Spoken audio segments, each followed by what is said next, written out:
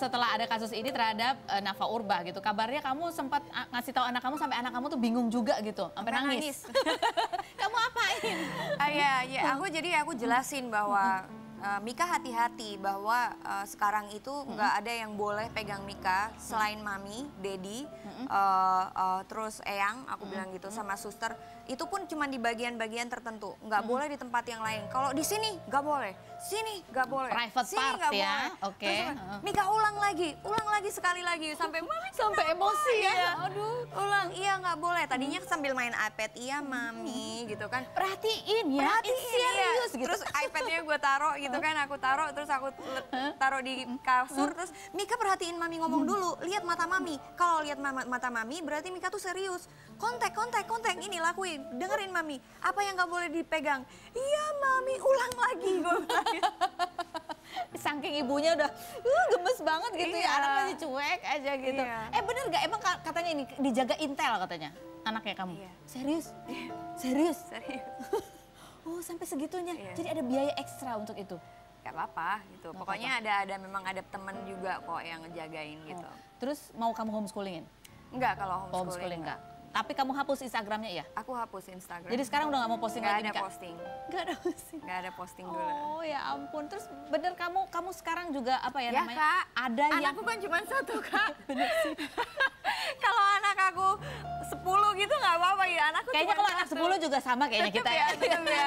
Istilahnya takman eman banget gitu kan. Tapi bener kan ada yang ada yang ada yang justru kamu ber- berjalan di jalan yang benar, banyak yang meneror juga yang apa ya istilahnya protes, komplain.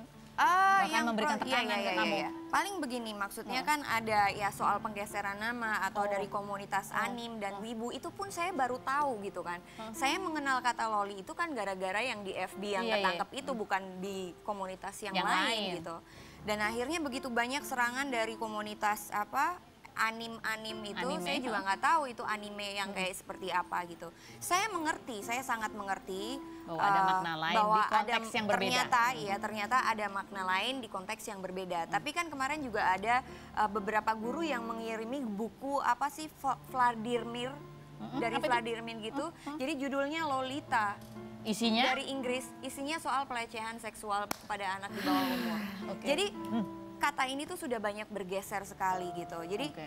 aku pikir juga mereka harus mengerti gitu. Nanti kan Iya. polisi yang akan menjelaskan lah. Nah, ini ini ada nih. Saya tidak tahu apa tujuan kalian menyerang saya hanya karena penggeseran nama yang kami semua hanya tahu kata itu dari para pedofil. Apa yang kami perjuangkan lebih penting dari apa pun dan kalian sibuk dengan membela hal yang masih bisa dicari jalan keluarnya ke depan nanti. Apa salahnya kalian tahan dulu bahasa itu untuk sementara waktu sampai kepolisian mengeluarkan pendapat dari hasil. Setuju nggak? Setuju banget, ya.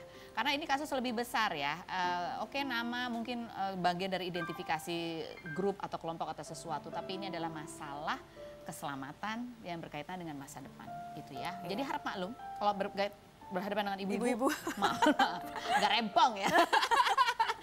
Enggak lah, nama kalian tetap nggak akan inilah. Maksudnya saya juga akan berjuang untuk supaya bagaimana caranya nanti ke depan supaya bisa didiskusikan lah. Tapi kan masalahnya ini sudah bergeser aja. gitu. Ya kalau namanya orang besar eh, suka sama anak di bawah umur, eh, sukanya sudah melanggar apa istilahnya sudah ada pemaksaan, itu namanya bukan kemerdekaan ya. Saya itu namanya sekali. adalah kejahatan, Penjajahan juga, penjajahan. ya. penjajahan untuk dan anak-anak. kriminal. Oke, baiklah. Nah sekarang kita ada apa artikel lagi yang mau kita tunjukin? Publikasi artikel. Oca, artikel. Oh ini scribe foto. Oke ini ada beberapa foto kita tunjukkan sekarang. Eh, Nafa, apa sih makna sosok ini yang ada di dalam foto ini buat kehidupan kamu? Yang pertama coba kita lihat. Ah, ini nggak apa-apa ya fotonya? Ini fotonya Mika. Di blur dong. oh di blur ya? Eh, emaknya aja udah ini ya. Udah nggak mau foto lagi? Hapus buruan. apa apa apa sih iya tadi kamu bilang anakku kan cuma satu dan ini takut banget gitu makna dia dalam kehidupan kamu sampai kamu punya rasa Ya. yang sebesar ini Mika it's amazing girl ya. Maksudnya dia itu anak yang sangat luar biasa. Dia anak yang sangat pengertian. Dia anak yang sangat polos. Dia anak yang sangat lemah lembut. Dia anak yang sangat baik, toleransinya kepada temennya. Terus eh, keinginannya untuk membantu, menolong orang. Terus ada karakter leadership yang sangat luar biasa gitu loh. Aku berusaha menanamkan hal-hal yang baik dalam hidupnya dia. Dalam hal memberi, dalam hal kasih hidup kamu buat apa buat teman orang kamu, banyak. buat masyarakat, buat orang banyak. Terus uh, jangan egois sama diri sendiri. Terus bagaimana hubungan kamu sama Tuhan itu adalah nomor satu yang kamu akan bawa nanti kelak. Karena pada saat kamu gede, kamu akan melihat berita mami. Tapi kamu akan melihat bagaimana mama, bagaimana mami berjuang itu karena Tuhan. Hmm. Jadi aku pengen banyak menanamkan hal-hal yang itu akan dibawa dia dalam pas waktu dia besar nanti. Itu nomor satu sih. Oh, seorang ibu sedang menanamkan benih-benih uh, pemimpin masa depan bangsa ini gitu ya. Jadi ini sebenarnya tugas kita semua untuk menjaga gitu ya, yeah. bukan cuma tugas Nafa doang. Oke, satu lagi, describe foto. Kalau yang berikut ini, ini boleh kali ya fotonya ya, nggak perlu di blur. Zekli, apa komentar Zekli terhadap hal yang kamu hadapi saat ini? Komentar dia baik sih. Maksudnya dia tetap tetap mendukung dia tetap ada rasa khawatir ada rasa takut. Cuman mungkin uh, dia bukan tipe orang yang bisa me memakai bahasa untuk memperlihatkan kekhawatiran dia gitu. Gitu. Terus dia apakah dia jadi lebih protektif kah juga sama Mika atau? Pasti sih. Maksudnya dia karena seorang ibunya sudah maju jadi dia kayak cuman memberi dukungan secara... Kamu ngomong ke dia atau dia taunya dari Instagram kamu atau di berita? uh, dia taunya dari Instagram saya. Terus begitu dia tahu dari Instagram, dia langsung telepon? Iya. Dia langsung telepon? Iya. Terus panik kah atau cuma ada apa gitu? Atau? Uh, tadinya dia nggak tahu uh, apa sih itu, kamu tuh ributin apa sih, kamu ributin apa sih, begitu udah rame baru hmm. dia ini. Baru dia ini. Yeah. marahkah? Kan kalau mungkin sekli iya, marahnya yeah. mungkin lebih yeah, ke yeah, arah yeah, yeah, ini yeah. ya. Dia bilang uh -uh. ya dia pasti marah sekali ya. Marah saya tahu. Uh, dia punya apa namanya ya dia punya hati seorang bapak juga baik bagus sekali gitu kan. cuman memang karena pergaulan atau segala macam itu gitu kan kadang-kadang kita bisa skip hal-hal yang tersebut karena hal-hal yang kayak begitu juga gitu saya percaya dia mempunyai hati bapak yang sangat luar biasa sih. Hmm. Jadi yang di luar sana hati-hati. Kalau bapak ibunya udah kompak nih dua-duanya, bahaya itu ya sana. Oke, sekarang kita bisik-bisik tetangga. Tetangga yang mana yang mau kita bisikin? Yang pertama ini dia tetangganya. Set. Oh, Nafa Urba stay together. Nova Elisa, Titi Kama, Tata Janeta. Love you kesayangan. Ini adalah tiga teman kamu ya. Iya. Nova Elisa, Oke. Okay. Tiga kata yang menggambarkan dia. Aduh, dia tuh pekok banget lucu. Nova itu uh, kepoan. Mm -mm hasil tukang kepo, terus sukanya olahraga, mm -hmm. selalu bilang Naf diet dong, Naf diet dong, diet dong, diet dong, diet Nafa, dong. Nafa, eh Nafa, Mbak Nova itu kejahatan ya. tidak, tidak membiarkan gue untuk makan enak gitu. Oh, ya udah, lu tinggal aja di rumah gue deh, langsung turun 10 kilo. Gak mau, gue mau makan enak gue bilang gitu. Titi Kamal? Titi Kamal itu Titi adalah orang yang sangat pekerja keras. Mm -hmm. Dia juga anaknya tuh humble ya, maksudnya dia mau ke bawah, sangat pekerja keras oh, banget. Dia pekerja keras. Dan dia tuh ada kocak-kocaknya juga oh. gitu kan, orangnya nyablak, orangnya tuh oh. nyablak banget oh. gitu. Tata Janeta? Galak, Bo, Desa. Iya, iya, iya. Oh, hati-hati berarti ya. Eh, kalau Zekli, tiga kata. Untuk Zekli apa? Zek, kenapa kasih pertanyaan yang susah gue kasih tahu gitu? Eh, apa ya? Apa? Apa ya? Aduh kalau yang deskripsi dia yang sekarang saya nggak tahu gitu. Oh, gitu. Saya tahu bisa mendeskripsikan dia tuh yang zaman dulu apa gitu yang dulu yang membuat kamu jatuh cinta banget sama saya dulu ya? Mm -mm. yang dulu banget nih. Mm -mm, dulu banget. Okay. yang tujuh tahun yang uh, lalu. uh, uh. wah luar biasa banget. Mm -mm. tujuh tahun yang lalu dia adalah laki-laki idaman. Dia bapak yang baik. Dia suami yang sangat luar biasa. Dia uh, uh, uh, bisa menjadi imam yang sangat luar biasa. Hmm. Tujuh tahun yang lalu. Hmm. Kalau sekarang? Saya berdoa supaya dia bisa kembali lagi ke tujuh tahun yang lalu. Amin. Oke, okay. ya.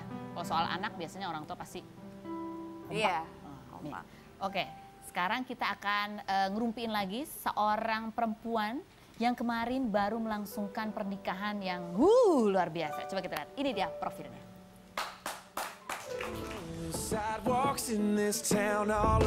Sesa Idris lahir di Jakarta 14 Oktober 1988 mengawali karir sebagai pemain sinetron sejak tahun 2000.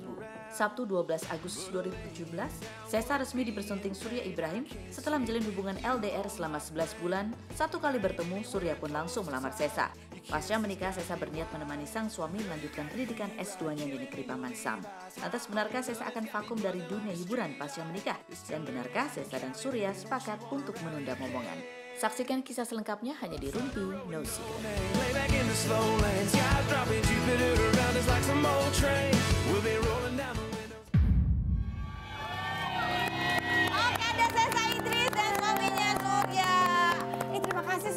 Selamat sekali lagi pengantin baru. Aduh, aku masih kesetrum-setrum gimana ya? Berasa-berasa gimana ya kalau di sebelahnya pengantin baru gitu. Coba ada artikel yang mau kita bahas buat pasangan pengantin ini bunyinya ada gelar resepsi pernikahan cantiknya Sesa Idris Mbak Ratu Angsa katanya ya. Ratu Angsa dengan gaun bertabur 6000 kristal mewah habis. ini memang mimpi kamu Sesa. Eh, pernikahan dengan seperti angsa itu tadi katanya. Sebenarnya mimpi nggak mimpi sih ya, gitu ya. Eh, dijalanin aja gitu, nggak pernah bermimpi yang gimana-gimana. Coba tanya Surya, aku bukan orang yang mimpi yang jauh Harus banget mewah gitu. gitu enggak? Jadi ini siapa? Mimpinya siapa ini? Surya aja. ya gimana Surya? Kalau aku sih sebenarnya pernikahan itu pengennya yang sederhana aja, yang simpel aja. Tapi seiring waktu kita mempersiapkan pernikahan itu, alhamdulillah rezeki ada aja. Iya. Jadi alhamdulillah kita expect-nya yang biasa-biasa aja, tapi Allah memberikan yang lebih, Benar. yang justru lebih dari ekspektasi kita. Apa yang lebih dari ekspektasi apa aja tuh misalnya? Ah, pertama, kalau aku tuh sejujurnya banget, kalau pengen nikah, awalnya pengen di restoran aja. Oh di restoran aja gitu makan selesai gitu Iya, ya. makan selesai aja. Kelar gitu. Terus Kelar. terus kenapa bisa ya, jadi cowok. Iya Iya, iya. pengennya di restoran aja, cuma ngundang keluarga, udah gitu. Cuman eh, pas aku ngasih konsep seperti itu ke keluargaku, langsung dimarahin. Apa gitu ya? Iya, karena masa Cuma gitu aja gitu, gitu. doang gitu. aja. Coba dong yang apa yang remarkable lah bagi keluarga gitu. Apalagi kan pernikahan aku terakhir kakakku udah semua Penutup berarti ya. penutup. Jadi eh, ya coba deh gimana yang agak remarkable. Aku bilang ya terserah aja. Tapi ya gimana caranya supaya nggak terlalu lebay. Jadi yang masih tetap oke. Tapi di luar itu semua gitu, kita memang yang biasa-biasa aja. Tapi ini nggak endorse ya, maksudnya bener-bener teman-teman tuh yang bantu yang bener pol-polan gitu. Karena kita pun kita pun nggak nggak jauh banget dari ekspektasi kita berdua gitu.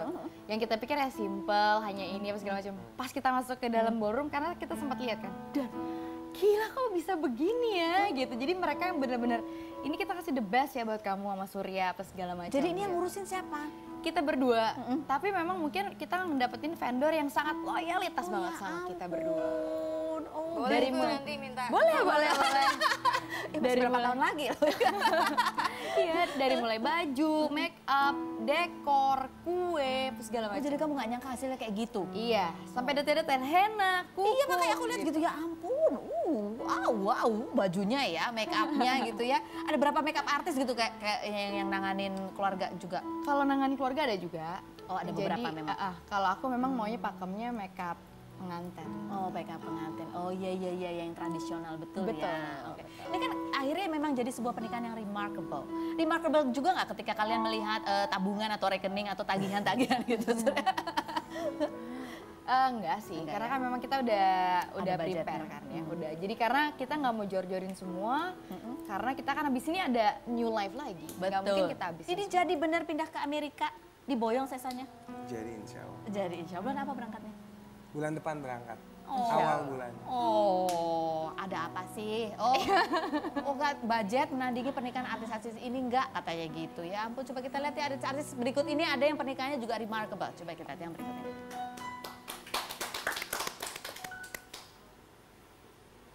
Mana? Oh ini ada ada Sandra Sandra Dewi, ada Glenn Alinsky. Ini juga pernikahannya. Dan sebelah kalau kanan itu siapa sih? Anang ya? Anang bukan sih? Kakaknya Ali Syakib. Oh, Ali Syakib. Nabila Syakib. Aku, kok yang muda-muda sih? Aku pikir Anang Hermansyah Masya dulu. Tapi setelah kalian melewati semua pernikahan dan segala keribetannya itu, apa yang dirasakan? Plong lah semuanya. Suka ada ribut-ribut gitu kan biasanya kalau pernikahan tuh ada yang suka aku aku ih, gitu-gitu ada nggak sih kayak gitu? Eh, ya pasti ada sih, cuman eh, kita memang dari awal janji ini kalau biasanya kalau pernikahan nih ada ujiannya nih, entah salah satu di antara kita yang berubah jadi rese atau ada yang, Yang kurang stres, sepakat gitu. Cuman eh, dari awal kita janji bahwa nih kita harus sampai bener jadi pernikahan jangan sampai ada halangan apa pun. Seberat apa pun kita harus bisa menghadapi itu dengan hati tenang, pikiran tenang. Kamu udah pengalaman karena kakak-kakak kamu sebelumnya kayak gitu ya pengalamannya? Eh, Kurang lebih. Ya kebanyakan orang kayak Ah, gitu iya sih, kan. Emang. Iya. Tapi itu mah wajar ya untuk Iya. untuk lebih saling mengenal tuh biasanya kita oh dia kalau stres begini, kalau stres Iya. begitu. Ah, sekarang sudah menikah, coba kita lihat. Oh kita lihat dulu. Ini eh, tayangan pernikahannya Sesa sama Surya. Seperti apa sih? Yang aku nggak datang itu jadi aku lihat videonya aja ya. Lihat video yang berikut ini. Saya nikahkan Ananda. Dan saya kawinkan Ananda kepada anak kandung saya bernama Drisa Wijayanka dengan mas kawinnya sepasang anting berlian dan gelang berlian. Tunai. Saya terima nikahnya dan kawinnya dari saya Wijayanka binti Idris Priyatna dengan mas kawinnya yang tersebut dibayar tunai.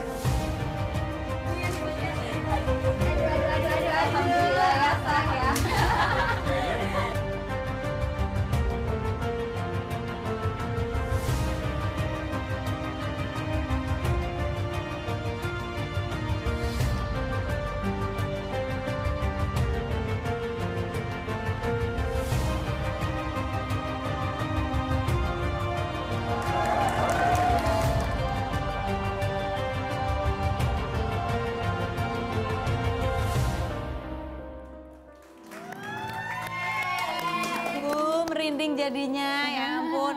Dan ini sekarang sudah menikah, eh, biasanya orang kalau pacaran, apalagi kalian pacarnya LDR ya kan, ya, sama udah menikah, udah ketemu tiap hari, pasti ada sesuatu juga yang baru yang kalian pelajari dari pasangan. Saya apa yang ada hal-hal lucu apa yang kamu tahu dari suami kamu? Kalau dia tidurnya cepet banget sih. Oh gitu. Sementara jam berapa tidur? Jam 9 jam 10 udah tidur. Masih jet lag mungkin ya? Enggak emang. Enggak, Memang dia tidurnya cepat. Memang dia oke. tidur cepat. Kecuali kalau di rumahku agak kalong ya. Jam 12, Oh, jam 1. Jam oke. 12 aja ponakanku masih bangun. Oh ya ampun. Gitu. Oke, terus Kalau kamu? kalau ini apa? Ada yang dari saya, saya kamu sesuatu yang baru. Tidurnya lama. Iya bener sih. Yang jadi kadang-kadang suka apa kayak debat-debatan tuh kayak masalah tidur gitu. Oh, loh. gitu. Kalau aku memang terbiasa tidur jam 9. Pasti Paling bangunnya pagi malam ya. Bangunnya pagi. Iya, tidurnya jam 9 atau jam 10. Subuh kan udah bangun. Terus aku terbiasa untuk nggak tidur lagi saat bangun subuh. Nah kalau saya kan tidur malam gitu loh. Walaupun memang subuhnya bangun, cuman kan jadwal jam tidur dia pendek dibanding aku. Aku coba kasih pengertian ke dia gimana caranya. Nih cara hidup yang sehat dan sesuai. Eh, sesuai? Dan Iya, iya, iya. lucunya waktu hari keberapa gitu. Kan biasanya kalau cewek ritualnya banyak ya kan. Bersihin muka gitu kan, pakai bersihin segala macam gitu kan. Oh ya lupa dia punya suami ya. 9 udah ngantuk ini. Oke. Gitu, tapi lucu Oh, sih. Nanti kita akan bahas lagi bagaimana pasangan ini saling mengenal pasangannya masing-masing. Setelah berikut ini jangan ke mana-mana. Tetap di Ruby. No.